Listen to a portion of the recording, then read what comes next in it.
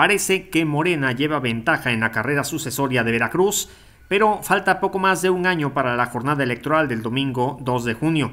En ese tiempo puede pasar cualquier cosa porque en el escenario estatal influirá la elección presidencial y la selección de los candidatos tanto de la 4T como de la oposición.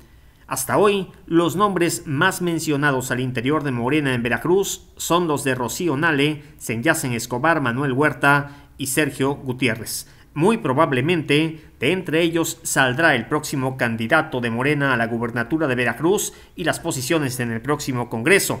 La selección del abanderado dependerá de dos factores, el nivel de posicionamiento en las encuestas y, sobre todo, la opinión presidencial. De ese tema es mi columna de este jueves. Le invito a leerla en horacero.mx.